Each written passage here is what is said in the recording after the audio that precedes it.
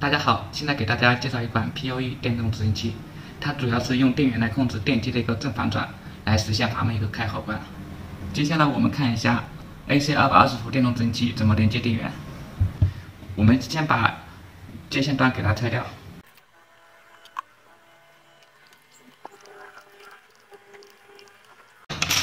我们可以看到里面有六个接线端子，这是电动执行器的一个接线图。咱们可以看到六个端子，一二三是控制电机的一个正转反转，实现阀门开合关。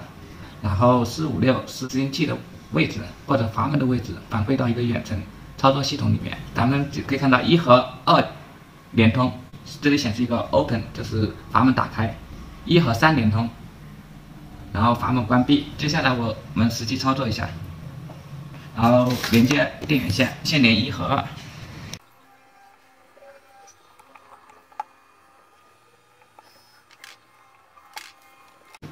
电，刚才我们接好呃端子一和二，然后根据表盘，现在执行器是关的位置，咱们接入电源，然后执行器再往开的方向走。好，全开之后，执行器自动断电。好咱们接现在接入一和三端子。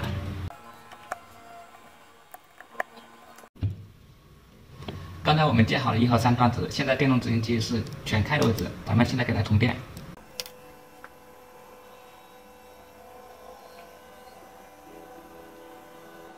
执行器全关，自动断电。